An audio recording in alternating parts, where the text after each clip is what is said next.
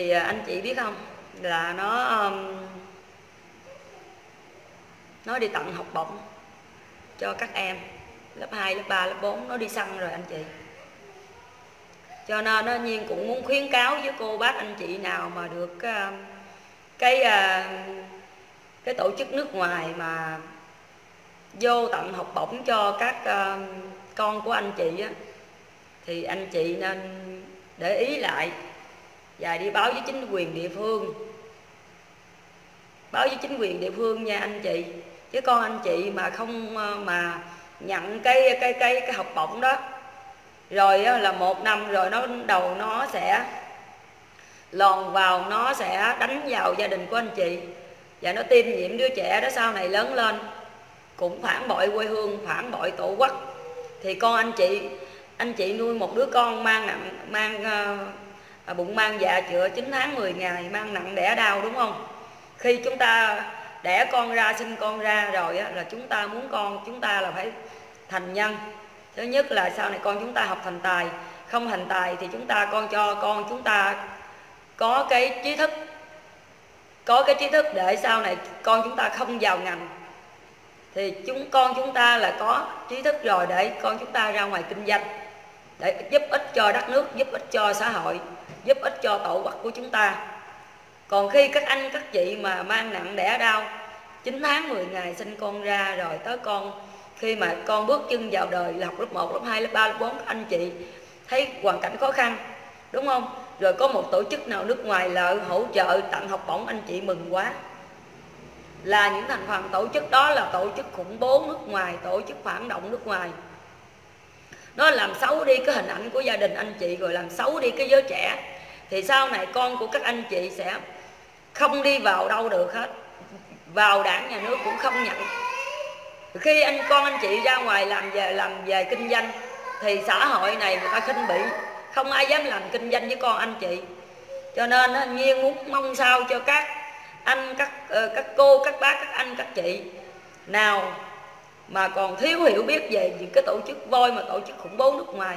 Nó đi tặng nó đi tặng uh, những cái um, nó đi tặng những cái um, nó đi tặng uh, học bổng cho các em á. Thì các chị nên nhớ phải đi báo chính quyền địa phương. Còn những thành phần đó mà nó làm lén lút như vậy đó anh chị biết sao không? Con người ta làm gì cũng phải công khai làm việc phải có công khai. Giả tử nó là tổ chức nước ngoài hay là hay là một việt kiều nào nước ngoài muốn hỗ trợ cho một gia đình hay hỗ trợ cho những người nghèo hay là à, làm từ thiện nào đó thì những cái những người việt kiều nước ngoài phải đến gặp địa phương ở quỹ ban xã đó huyện đó ký rồi xong họ mới cùng với những người ở địa phương đó và mà mà chính quyền ở đó cùng với nhau để cùng với nhau cùng chung tay để mà đi hỗ trợ cho một cái gia đình nghèo hoặc là hoặc là đi từ thiện cái vùng nào đó. Là những người ta làm danh chánh ngôn thuận không có phải là phản động. Còn những thành phần phản động mà không kết hợp với nhà nước, không kết hợp với địa phương, mà đi làm ngang, cầm tiền đi làm ngang, đó là tôi đi hỗ trợ học bổng cho các em.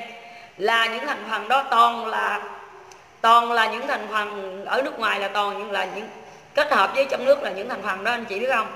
Là những thành phần đó là nhiên gọi là nó đang đang hại các gia đình của anh chị và con của các anh chị. Mong sao cô bác anh chị em và các cháu đang sống trong nước mà gặp những cái tổ chức đó như vậy anh chị nên tỉnh táo. Hiện nay về đất nước Việt Nam của chúng ta đang á, đi trên cái đà phát triển thì nhà nước của mình cũng hỗ trợ cho dân lúc mà khi mà gặp khó khăn à, đâu có giỏi đâu, nhiên có giỏi. Chào thái, ngọc nhiên và mọi người. Nhiên chào tất cả cô bác anh chị em. Thì à, hôm nay nhiên có coi đưa được à, một cái trang ma sơ. Nó nằm trong tổ chức bọn phản động. Bọn phản động Việt Tăng mà là tổ chức của nó thành lập là tổ chức voi của quần trịnh hội nha anh chị. Thì à, qua cái clip này nhưng cũng gửi đến cô bác anh chị em và các cháu đang sinh sống trong nước. Nhưng cũng mong cô bác anh chị em và các cháu chúng ta đang hiện nay giờ cái bọn phản động tổ chức voi thì à, là của hồng trịnh hội nó nó sáng lập đó anh chị bọn phản động nước ngoài đó. Thì hiện nay bây giờ đó, là nó tiêm nhiễm vào những cái à, cái gia đình mà gặp hơi khó khăn. Ở trong nước chúng ta khó khăn thì ngày xưa giờ đất nước mình phát triển nói tiếng khó khăn đó mà khó khăn là ở đây là không phải mọi gia đình nào cũng khó khăn. Mà nhầm khi lúc đó, chúng ta làm ăn được thời thế thì nó được lên. Còn lúc không thời thế thì nó chịu lỗ lã là bình thường. Thì ở đây nhiên nói cho cô bác anh chị em là cái bọn tổ chức voi á là nó vô nó tìm kiếm những cái người gia đình khó khăn gặp khó khăn thì nó cho các em đó là lợi là um, tặng học bổng cho các em từ lớp 1, lớp 2, lớp 3, lớp 4, lớp 5, lớp 6, lớp 7, lớp 8, lớp 9, lớp 11, 12 đại học. Thì bọn tổ chức voi nó đi săn những những cái gia đình nghèo gặp khó khăn. Cho nên đó, Nhiên cũng ở đây cũng cảnh giác với bà con cô bác anh chị em nào mà từng được tổ chức voi nó hỗ trợ cho con anh chị mà tặng học bổng á. Thì anh chị nên cảnh giác nha. Con của các anh các chị mà nhận cái học bổng đó rồi á thì á từ lớp 2, lớp 3 là nhiên thấy hiện nay giờ nó đang đi vào vào miền miền Tây rồi. Đó, vào miền Tây rồi nó đi tới uh, bữa hổm thì uh, mình coi bến trang uh, cái cái đó mình bây giờ quên chụp rồi mình không nói. Bây giờ cái bọn mà ma sơn vui vẻ nằm trong tổ chức khủng bố của, của thằng ờ, trịnh hội á, tổ chức việt tăng á anh chị voi á. Đó. thì hôm nay Nhi muốn làm cái góc cảnh báo ờ, uh, cảnh giác cho bà con cô bác. Cái trang ma sơ vui vẻ. Nó đi săn tất cả những người mà những đứa trẻ những đứa em sinh viên đi học để chi? Nó làm cái gì? Để tặng học bổng cho các em nghèo. Đó. Bọn phản động chúng mày nha. Tụi mày không bao giờ qua mắt được con mắt của người dân. Đó. Chào đậu thắng nghe. Đó. Nhiên thì à, nhiên không có trình độ cao siêu như anh chị. Mà nói về mà đi à, đi săn phản động này á nó làm sơ ngang là nhiên biết nó đang làm gì. Đó. Bọn phản động đó, nó nấp lùm đó anh chị. Cái trang ma sơ vui vẻ.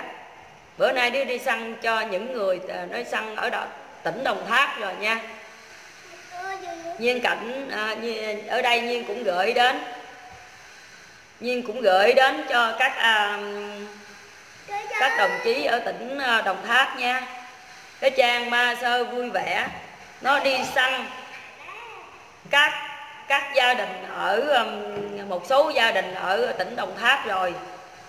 À, các anh các anh à, các đồng chí ở tỉnh Đồng Tháp vào cuộc đi. Đấy. Các đồng chí công an ở tỉnh Đồng Tháp nha hãy vào cuộc đi.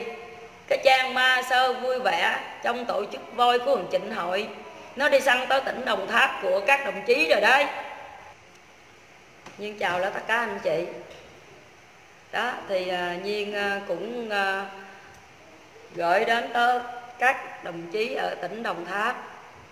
À, cái trang gốc mai sơ vui vẻ là nằm trong tổ chức voi của trịnh hội. Đi săn một số gia đình ở tỉnh đồng tháp. Có các em học sinh mà gia đình hoàn cảnh khó khăn là nó săn để mà nó tặng học bổng cho các em đó thì ờ, mong các đồng chí ở tỉnh Đồng Tháp ờ, vào cuộc để ờ, gặp những cái gia đình đó để mà để ý để mà cảnh giác với những cái gia đình đó nha. Nhưng chào tất cả cô bác anh chị. Thì qua cái clip này mong sao tất cả anh chị, chị em chúng ta cần à, và nhiên cũng mong sao đảng nhà nước mình lên những cái đài truyền hình rồi lên uh, lên đài truyền hình chính thống rồi à, đưa lên những báo chí. Đó để cho bà con à, vùng sâu vùng xa vùng quê ở trong nước chúng ta để cảnh giác với cái bọn à, tổ chức voi này. Nó tiêm nhiễm từ các em từ lớp 1, lớp 2, lớp 3, lớp 4, lớp 5 đi lên rồi đó anh chị. Nó vô là nó học bổng. Đó đấy là cái góc cảnh giác để cho bà con chúng ta nhìn ra cái bọn âm mưu của bọn thâm độc ở ờ, bọn ờ, phản động nước ngoài, lưu vong nước ngoài. Qua clip này, nhiên cũng cảm ơn anh chị theo dõi. Rồi mong anh chị chia sẻ đến ờ, gia đình của anh chị, bà con hàng xóm chúng ta để mà cảnh giác cái tổ chức này.